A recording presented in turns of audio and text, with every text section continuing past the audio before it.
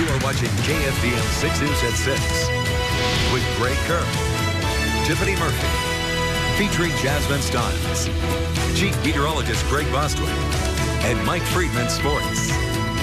This is KFDM 6 News at 6.